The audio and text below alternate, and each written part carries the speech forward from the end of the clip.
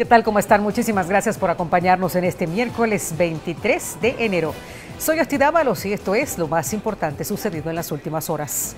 La fórmula de Carlos Calleja y Carmen Aida Lazo presentó este miércoles el plan de gobierno que implementará de llegar a la presidencia en las próximas elecciones. Es una hoja de ruta para reformar el Ejecutivo, que es a lo que nosotros aspiramos llegar con Carlos, reformar el Ejecutivo, introducir mucha más transparencia, una mejor gestión de los recursos, un gobierno más humano.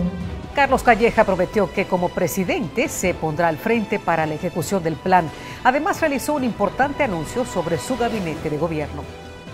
No solo tienen la futura vicepresidenta de la República, sino la primera mujer secretaria técnica del Salvador.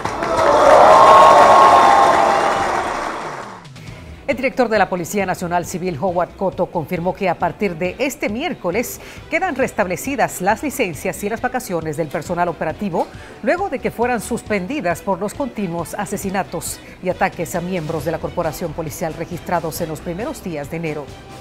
También solicitó replicar las medidas de protección y autoprotección para todo el personal policial. Además, que se elaboren las planillas para pagarle la compensación al personal que fue incluido en la suspensión de licencias. El Papa Francisco pisó suelo de Centroamérica por primera vez al arribar a Panamá este miércoles para el encuentro con miles de jóvenes del mundo, en momentos en que muchos migrantes centroamericanos viajan hacia el norte escapando de la pobreza y la violencia en la región.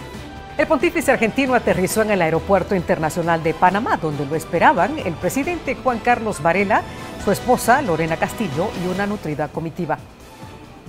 El líder religioso llega para alentar al rebaño de jóvenes del futuro durante la jornada mundial que realiza la Iglesia Católica y que se extenderá hasta el domingo.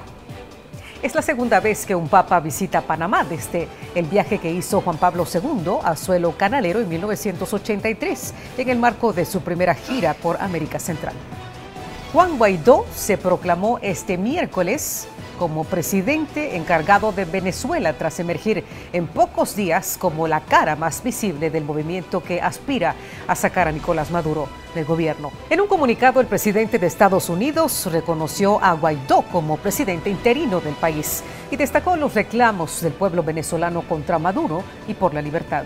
Solamente ocho países de América Latina han reconocido a Guaidó como mandatario de Venezuela. El Salvador todavía no se ha pronunciado. Por su parte, Nicolás Maduro, presidente de Venezuela, respondió de forma enérgica la autoproclamación como presidente hecha por Juan Guaidó. Anunció que se rompen las relaciones con Estados Unidos y dio un plazo de 72 horas para que toda la delegación abandone Venezuela.